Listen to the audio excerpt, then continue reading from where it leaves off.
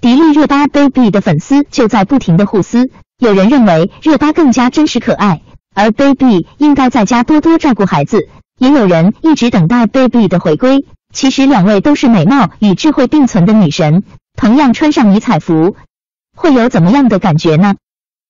迪丽热巴在《麻辣变形记》里的军装造型英气逼人，热巴严肃起来也这么好看，这表情简直就是帅炸了。军装演绎的也很美，给人一种女教官的成熟感。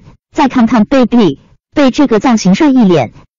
首先看到的就是满屏的大长腿，baby 穿迷彩服的造型真的很美，女神气场超强。俗话说，撞衫不可怕，谁丑谁尴尬，没有对比就没有伤害。baby 与热巴只是相差三岁，单从颜值方面，迪丽热巴拥有天颜，混血般的脸孔更胜一筹。